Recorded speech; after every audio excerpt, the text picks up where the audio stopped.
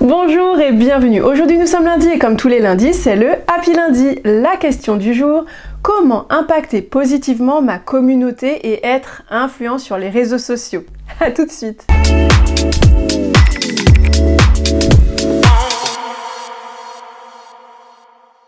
Bonjour et bienvenue. Comme je vous le disais dans l'introduction, aujourd'hui nous allons parler d'influence. Comment être influent sur les réseaux sociaux, comment impacter positivement notre communauté et ça, ça va être l'objet de notre vidéo. Aujourd'hui, avant de commencer, je veux euh, vraiment vous souhaiter la bienvenue sur cette chaîne si vous êtes nouveau. Si vous êtes nouveau et que vous n'êtes pas encore abonné, je vous invite à vous abonner, à activer la cloche afin d'être tenu au courant des prochaines vidéos qui seront publiées sur la chaîne. Si vous êtes déjà abonné, c'est très bien. Et si vous me suivez depuis un petit moment, je vous souhaite la bienvenue dans cette saison 4 sur la chaîne YouTube. Alors dans cette saison 4, comme vous le disais la semaine dernière, si vous n'avez pas vu cette vidéo, vraiment, je vous invite à la regarder puisqu'on parlait de digital detox et c'est comme c'est une série de trois vidéos qui vous permettent de vraiment euh, booster euh, euh, votre visibilité sur les réseaux sociaux. Je vous invite vraiment à regarder toutes les vidéos. C'est vraiment une vidéo, la vidéo numéro 2, donc qui est sur la série des glow-up euh, sur les réseaux sociaux. Et donc du coup dans cette saison 4, je vais vous parler de quoi? Je vais vous parler euh, donc bien entendu de personal branding, je vais vous parler de réseaux sociaux, comment développer votre visibilité, d'intelligence artificielle, je vais vous parler également des outils, les réseaux sociaux, les meilleures plateformes sur lesquelles vous positionnez, je vais vous parler de vraiment pas mal de, choses euh, dans cette saison 4. et puis aussi c'est l'arrivée d'un nouveau format, le format vlog, qui sera consacré à la partie beaucoup plus thématique productivité. Et euh, ces thématiques productivité, je vais vous en parler du coup euh, durant mes déplacements, qu'ils soient petits ou grands, euh, pour vous donner mes astuces quand je suis en déplacement. Et encore une petite nouveauté, bah, dans cette saison 4, vous avez certainement dû voir passer les podcasts. Et oui, j'ai lancé mon podcast, comme vous le disais la dernière fois. mon podcast, pour ceux qui ne le connaissent pas encore, c'est la Minute Digital Boss.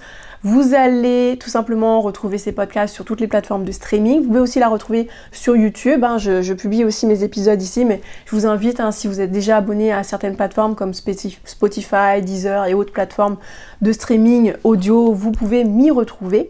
Dans cette saison 4, vous y retrouverez donc plus de qualité, du contenu euh, donc plus qualitatif, avec plus de documentation, plus d'astuces, plus de conseils, plus d'outils, ou du moins des outils que j'ai testés encore plus en profondeur de façon à être sûr qu'ils vous apportent le plus de qualité et ce dans le long terme parce que certains outils parfois bah forcément comme ce sont des outils qui sont nouveaux, bah dans le temps peuvent changer de direction ou parfois ne plus exister. Donc là vraiment j'essaie de, miser sur des outils qui sont vraiment des outils qui euh, fonctionneront à long terme et qui vous seront utiles du coup dans votre quotidien d'entrepreneur et de créateur de contenu. Rentrons dans le vif du sujet. Euh, en tout cas, avant de commencer, abonnez-vous si ce n'est pas déjà fait. Je vais vous donner quelques astuces. Ici, des astuces sont euh, encore une fois divisées en 10 astuces majeures. Ces astuces auront pour but de vous aider à impacter votre communauté positivement et on va démarrer dès maintenant. Donc première astuce, être à l'écoute et réactif auprès de sa communauté. Alors en quoi ça consiste? Lorsque vous êtes créateur de contenu, entrepreneur, que vous créez du contenu du coup sur les réseaux sociaux, ce que je vous invite vraiment à faire, c'est avant toute chose, avant de vous lancer sur le nouveau contenu que vous voulez créer, avant de vous lancer sur la création sur, le, sur la forme comme le, sur le fond de votre contenu, c'est d'abord vous interroger sur les véritables besoins de votre communauté. Cela va passer par une véritable connaissance de qui est votre audience, euh, quelle est leur tranche d'âge, euh, où ils habitent, euh, quelle langue ils parlent, bien entendu, mais aller beaucoup plus loin que ça. Euh, quels sont leurs points de douleur, quelles sont leurs problématiques, quelles sont les problématiques qui les empêchent véritablement d'atteindre leurs objectifs et comment vous, vous pouvez les aider, ne serait-ce que partiellement, à atteindre ces objectifs-là. Parce que lorsque vous allez les aider, même partiellement, à atteindre leurs objectifs, eh bien, ils vont s'apercevoir que vous avez un niveau d'expertise qui va les aider du coup à atteindre leurs objectifs en allant plus loin. Donc du coup, même en faisant appel à vous de façon euh, euh, peut-être rémunérée parce que vous avez forcément des produits, des services, des prestations que vous proposez, vous êtes entrepreneur, si vous allez sur les réseaux sociaux, ce n'est pas euh, pour les beaux yeux de votre communauté, on va pas se mentir, c'est que vous avez des objectifs. Et il faut que, bah oui, certes, vous allez apporter de la valeur pour résoudre euh, partiellement les problématiques de votre audience, mais aussi euh, vous serez en capacité, quand euh, cette audience sera prête à aller plus loin, une partie en tout cas de votre audience sera, prête à aller plus loin, et donc du coup, vous pourrez les accompagner beaucoup plus loin et les aider à atteindre leurs objectifs. Et pour ça, il va falloir d'abord que vous leur prouviez que vous avez un certain niveau d'expertise et donc du coup asseoir votre niveau d'expertise.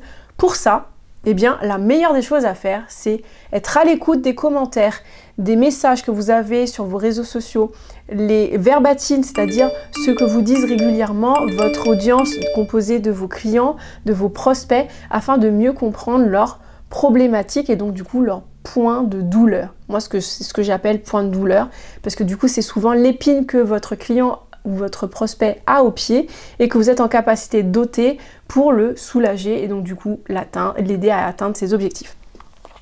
Deuxième astuce, apporter de la valeur. Alors l'apport de valeur, c'est vraiment le point euh, très important, le point focal de votre création de contenu. Pourquoi? Parce que, encore une fois, donc si vous ne l'avez pas vu dans, la vidéo précédente, et d'ailleurs je le dis dans beaucoup de, de, mes vidéos, je vous invite vraiment à ne pas chercher à faire de la quantité euh, sur la, sur la, plutôt que de la qualité par rapport à votre contenu. Euh, ne vous illusionnez pas en pensant qu'en faisant de la quantité, vous serez également en capacité de faire de la qualité. Ce n'est pas toujours le cas. Si vous arrivez à faire ça, faites-moi un petit coucou, mais en général, quand on fait beaucoup, beaucoup, beaucoup, beaucoup de contenu, eh ben dans le lot, il y en a forcément qui sont un peu moins qualitatifs. Tandis que quand on fait un peu moins de quantité en termes de quantité, mais qu'on fait un peu plus en termes de qualité, et donc moins de volume mais plus de qualité, vous allez voir que vous allez vous concentrer sur le peu que vous allez créer, et vous allez créer quelque chose de beaucoup plus qualitatif à chaque fois. Et ça, vraiment, je pense que ça, ça change la donne, c'est vraiment game changing parce que vous allez vraiment vous intéresser à apporter de la valeur et il faut vraiment que ce soit intentionnel. C'est-à-dire quand vous créez du contenu, à chaque fois que vous en créez un, vous demandez OK, cette vidéo, ce contenu, cette infographie, ce visuel, ce conseil, cette astuce, cette légende, quand euh, mon audience va la lire, ça va leur apporter quoi concrètement dans leur vie? Moi, quand je crée mon contenu, euh, je, pense à vous en tant qu'entrepreneur, en tant que créateur de contenu. Je vous vois euh, également, je me projette dans, les, dans mes masterclass, dans mes formations, dans mes accompagnements. Je vois bien ce dont vous avez besoin. Et je me dis, ben, quand je vais dire ça dans mes vidéos, ben, ça va leur apporter telle chose, telle chose, telle chose, telle chose. Je vous invite vraiment à faire la même chose dans vos euh, contenus, dans la création de votre contenu. Ayez toujours en tête le pourquoi vous faites ce contenu, pour vous bien sûr, hein, vous n'êtes pas là pour rien, vous n'êtes pas là, euh, sauf exception, peut-être que vous, vous créez votre contenu juste pour aider les autres, peut-être parce que vous êtes passionné, euh, mais quand on est entrepreneur, on a ce double besoin à la fois de créer du contenu qui apporte de la valeur, mais aussi de pouvoir alimenter du contenu qui va donner envie à potentiellement une certaine partie de son audience à venir acheter, à venir à comprendre et du coup s'approprier ce que vous proposez comme prestation, produit ou service. Et ça, bah forcément, hein, quand on est entrepreneur, on doit y penser. Et donc du coup, ça va passer par un apport de valeur euh, de façon euh, à la fois stratégique, mais consciente aussi de ce que vous faites comme contenu. Troisième astuce, ça va être partager des conseils et des astuces sur les réseaux sociaux au bon format. Alors, c'est bien de partager des astuces, c'est bien de donner de la valeur, c'est bien d'écouter son audience, mais si vous partagez votre contenu dans le mauvais format, je m'explique, dans le format où votre audience euh, ne s'attend pas, c'est-à-dire ne s'attend pas à consommer ce contenu-là parce que c'est pas sous ce format-là qu'elle apprécie de recevoir votre euh, contenu ou les conseils qu'elle recherche à avoir, et eh ben vous allez tomber à côté. Donc il faut vraiment que vous vous intéressez à savoir quel est le format qui intéresse le plus votre audience. Exemple type, mon audience, ce sont, euh, ce sont des entrepreneurs et des créateurs de contenu. Et les entrepreneurs et les créateurs de contenu sont très occupés. Donc, soit ils ont besoin d'avoir un contenu qui va être très visuel, et c'est pour ça que vous êtes, vous me regardez aujourd'hui, vous êtes sur la chaîne YouTube, et c'est pour ça que je crée des vidéos. Parce que je sais que mon audience aime beaucoup quand je leur montre les choses, quand je leur explique les choses en détail, étape par étape, et donc du coup, le format vidéo est adapté pour vous qui me regardez maintenant. Mais euh, pour euh, d'autres, eh bien, ils ont besoin d'entendre, ils sont tellement pressés, ils ont tellement un planning serré que le mieux pour eux en fait c'est d'écouter mon contenu. Raison pour laquelle maintenant j'ai les podcasts qui sont maintenant disponibles sur la plupart des plateformes de streaming. D'ailleurs si vous n'êtes pas encore euh, abonné, vous ne connaissez pas encore, vous cherchez la Minute Digital Boss by Kelly Pioche, vous allez me retrouver. Donc ce sont des contenus exclusifs. Et donc du coup, je les ai euh, créés au format audio parce que je sais que mon audience en a besoin dans ce format. Par la même occasion, vous, quand vous allez réfléchir le, format de votre contenu, vous allez devoir réfléchir à savoir quel est le format le plus adapté pour votre audience. Est-ce que c'est le format vidéo? Est-ce que c'est le format audio? Est-ce que c'est le format visuel, c'est-à-dire sous format de photo, infographie, schéma? Qu'est-ce qui plaît à votre audience? Une fois que vous aurez compris ça, vous serez en capacité de venir apporter de la valeur au bon format et ça, encore une fois, game changing pour votre audience et pour vous-même du coup, puisque votre audience va grandir, votre communauté va se développer. Quatrième astuce, organiser des sessions de questions-réponses en direct. Alors, pourquoi des sessions de questions-réponses et pourquoi en direct? Alors, les sessions de questions-réponses, c'est toujours utile pour votre audience, pour plusieurs raisons. Le fait d'organiser des questions-réponses, ça va aider votre audience à vous poser les questions bah, qu'ils n'ont pas l'occasion peut-être de vous poser quand vous faites une photo ou une vidéo qui est déjà enregistrée d'avance, euh, ou que vous faites une infographie, forcément ils vont vous poser des questions, mais c'est pas aussi pratique que s'ils vous ont vraiment sous la main et qu'ils peuvent vous poser la question. Quand je dis sous la main, c'est vraiment au format vidéo, donc en direct, à distanciel peut-être, mais euh, ce distanciel permet quand même de pouvoir être euh, en live, de, vous avoir euh, au moment T et de vous poser les questions qui vraiment leur, leur trottent dans la tête et donc du coup de vraiment leur apporter de la valeur plus plus plus. Cet apport de valeur plus plus plus va changer beaucoup de choses. Alors première chose, ça va permettre de pouvoir vous, apercevoir, vous, hein, vous en tant que créateur de contenu, de quelles sont les véritables interrogations de votre audience, les choses qui sont un peu euh, passées sous silence dans, dans, les autres cas. Et puis, d'autre part, l'audience va s'apercevoir de votre niveau d'expertise, encore une fois, et là, euh, ça va vraiment, encore une fois, asseoir votre, votre image d'expert dans le domaine et du coup euh, ça va vous apporter des prospects, des personnes qui vont s'intéresser à ce que vous proposez en termes de produits, prestations, euh, accompagnement, formation, que sais-je, en fonction de ce que vous proposez. Donc ça vraiment, Pensez-y, les lives, je sais que c'est pas tout le monde qui est à l'aise avec ça, mais croyez-moi, le fait de le faire la première fois, vous allez avoir des premiers résultats, la deuxième fois encore d'autres résultats, et vous allez euh, au fur et à mesure être de plus en plus à l'aise. Cinquième astuce, lancer des défis et des hashtags sur les réseaux sociaux. Alors, première partie de cette astuce, c'est euh, lancer des défis. Le fait de lancer des défis, particulièrement, alors sur TikTok, ça fonctionne très très bien. Sur Instagram, ça fonctionne aussi. Et sur les autres réseaux sociaux, euh, ça fonctionne. Mais sachez que le fait de lancer un défi, ça va euh, créer l'engouement collectif. Je m'explique. Quand vous lancez un défi et que vous le faites sur les réseaux sociaux, ne serait-ce que quelques jours, 2, 3 jours, 5 jours, voilà, une semaine en général, euh, c'est offert, c'est quelque chose que vous offrez à votre communauté, c'est un défi qui va leur permettre d'atteindre euh, un, objectif en partant d'un point A pour arriver à un point B, et ce de façon collective, vous allez voir que vous allez avoir beaucoup plus d'engouement, beaucoup plus d'engagement auprès de votre communauté. Un, ça, change les choses parce que du coup, ils ne sont pas seuls à faire l'exercice que vous donnez ou, l'astuce que vous donnez. Là, vous devez lancer un défi et le faire dans un timing donné, ça booste beaucoup de gens à passer à l'action. Donc le défi vraiment change les choses pour beaucoup de gens. Et en plus de ça, le fait que ça va booster un petit peu cette communauté pendant un certain laps de temps, eh bien, en parallèle de ça, ça va créer de l'engagement pour votre communauté, l'algorithme va le prendre en compte, et ça, encore une fois, ça booste votre visibilité, ce qui n'est pas négligeable. Ensuite, pour la partie, la deuxième partie de mon astuce qui était concernant les hashtags, n'hésitez pas à, créer un hashtag personnalisé. Euh, pourquoi? Parce que ça va permettre de donc créer un hashtag personnalisé, de suivre un petit peu euh, l'actualité et les posts qui sont liés à ce défi, mais aussi ça permet de booster la visibilité avec un certain, euh, certain mot-clé. Ça permet aussi de pouvoir, surtout quand on est sur TikTok, de booster la visibilité auprès d'un certain une certaine thématique liée aux mots-clés qui sont liés au hashtag, bien entendu, mais aussi ça va vous permettre à vous de pouvoir demander à votre audience de créer du contenu et de pouvoir vous taguer, de pouvoir mettre le hashtag associé au défi et de créer encore plus d'engouement, donc créer cet effet euh, boule de neige auprès de votre, de votre, de votre compte, de votre contenu et du défi en lui-même. Donc ça, vraiment un gros changement pour votre communauté, j'en suis sûre. Sixième astuce, offrir des ressources et des outils gratuits en ligne. Pourquoi? Le fait d'offrir à votre communauté euh, un contenu que vous offrez, qui a de la valeur certes, mais que vous offrez, alors n'offrez pas n'importe quoi, hein. n'offrez pas des choses, attention, qui ont trop de valeur, que vous pouvez passer trop de temps à faire, ou du contenu euh, qui, donne trop de solutions. Euh, vraiment créer quelque chose qui est un peu synthétique, même si vous apportez de la valeur, c'est quelque chose de synthétique quand même. Ça permet de résoudre partiellement les problématiques, pas totalement, et ça permet quand même d'avoir toujours besoin de vous après, derrière. Mais le fait d'offrir quelque chose, ça va donner envie aux gens de vous suivre parce que vous offrez quelque chose.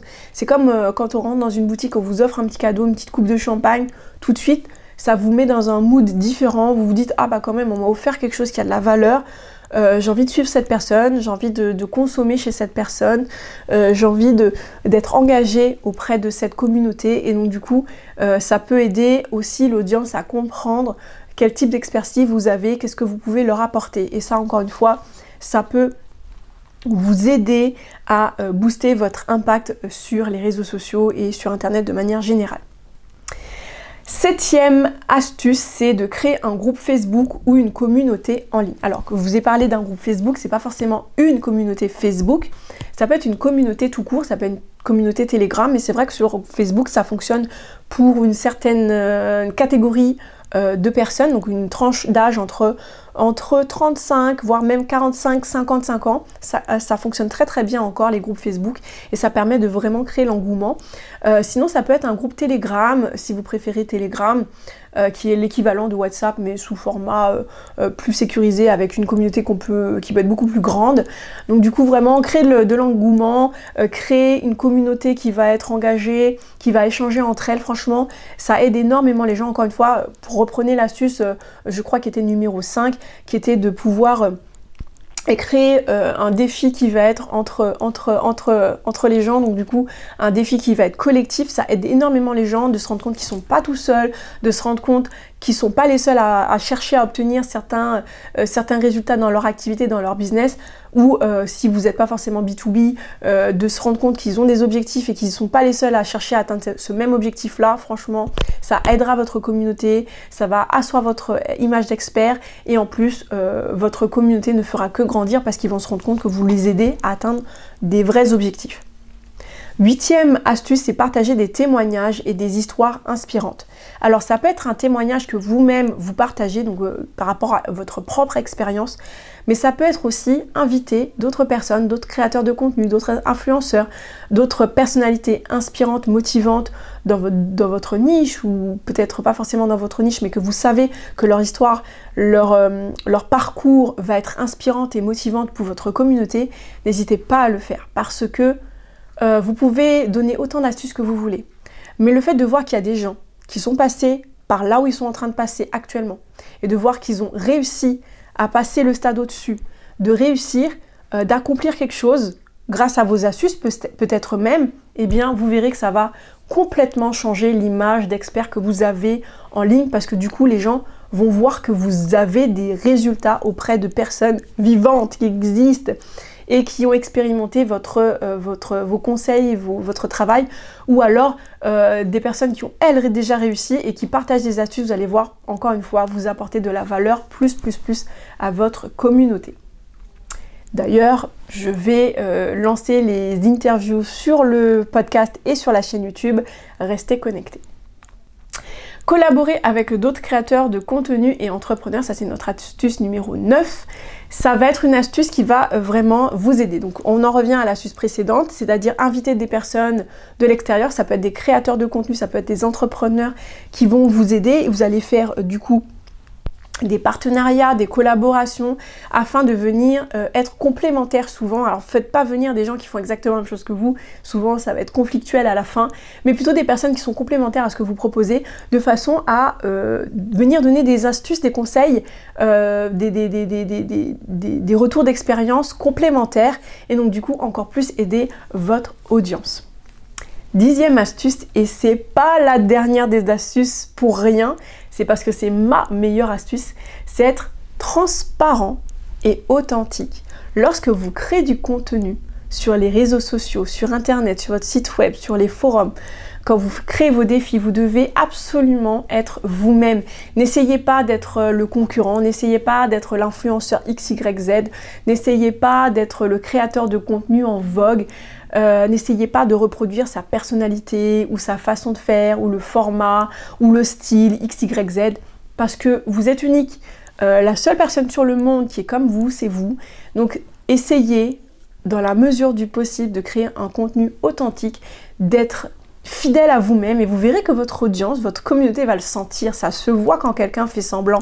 Donc faites comme vous avez l'habitude euh, de faire quand vous êtes avec des personnes normales, que vous n'êtes pas devant une caméra, que vous n'êtes pas en train de créer du contenu. Essayez d'être authentique. Vous verrez, en tout cas pour ma part, l'expérience que j'en ai, c'est que lorsque euh, avant, j'ai essayé de créer du contenu, mais j'essayais de reproduire ce que j'ai vu un tel et un tel euh, créateur de contenu que j'admire, qui fait du contenu génial, et je me dis, oh, il faut que je sois comme ça, il faut que je sois comme ça. Mais non, en fait, ça marche pas. À partir du moment où j'ai commencé à être moi, euh, tel que je suis, euh, que je suis souriante, euh, je sais que, voilà, on me dit souvent que je suis quelqu'un de pétillant. Voilà, je suis telle que je suis, je donne mes astuces comme je le donne quand on me demande des astuces en cours ou quand on me le demande de manière générale dans le quotidien et je suis comme ça devant la caméra, et bien depuis, bah, mon contenu et mon audience ne fait que grandir, tout simplement parce que j'ai pas cherché à être quelqu'un d'autre, mais parce que je suis telle que je suis et je ne cherche pas à modifier ma personnalité, je cherche pas à modifier mon contenu pour que ça colle plus à ce que d'autres personnes font, d'autres concurrents dans mon secteur d'activité font. Et euh, c'est ce qui fait la différence, puisque au final, euh, mon audience, souvent, de temps en temps, vous allez vous m'écrivez hein, sur LinkedIn, euh, sur euh, YouTube, sur Instagram, sur les autres réseaux sociaux, vous m'écrivez et souvent, ce qu'on me dit, c'est que bah il y a tel créateur de contenu qui fait telle chose, telle chose, mais moi, je te suis de toi parce que bah tu es comme ça, comme ça, comme ça, comme ça, et j'apprécie cette façon d'être. Donc, ne cherchez pas à être comme les autres parce qu'il y a forcément dans, l'audience que vous cherchez à capter des personnes qui trouvent pas euh, ce qu'ils euh, voudraient euh, auprès de d'autres personnes qui créent du contenu et peut-être même qu'ils vont suivre un tel et qui vont vous suivre également parce que chez un tel ils vont trouver ce, format-là et chez vous un autre format, chez un tel telles astuces et chez vous des astuces qui sont pertinentes par rapport à d'autres choses. Donc soyez authentique, soyez vrai, vous verrez votre communauté naturellement va grandir et se développer dans le temps. Voilà, cette vidéo est terminée. Je vous donne rendez-vous lundi prochain pour un nouveau Happy Lundi.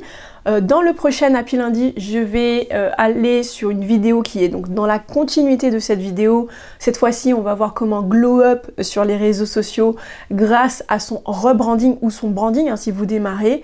Donc comprenez qu'en français que ça va être tout simplement pour développer votre image de marque sur internet et sur les réseaux sociaux. Je vais tout vous montrer, je vais vous montrer mon shooting photo, comment mon plan d'action, comment j'ai fait pour mettre en application, comment j'ai fait pour créer mes bandeaux, mes bandeaux, euh, comment je les ai optimisés, pourquoi je les ai optimisés. Je vais tout vous dire. Vraiment, rendez-vous la semaine prochaine pour un contenu vraiment exclusif. Euh, qui sera, je l'espère, un contenu qui va vous plaire parce que vous me l'avez énormément demandé.